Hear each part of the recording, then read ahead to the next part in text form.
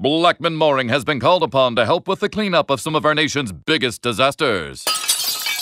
Oh man. So when Barton spilled the beans and the gravy all over his carpet, he didn't call some fly-by-night cleaners. He called a name he knew he could trust, Blackmon Mooring. And then he called for reservations. Need your carpets and air ducts cleaned? Call Blackmon Mooring, the original residue-free cleaners and the most trusted name in home cleaning for over 65 years. Save $35 on your next service totaling $150 or more for a limited time only.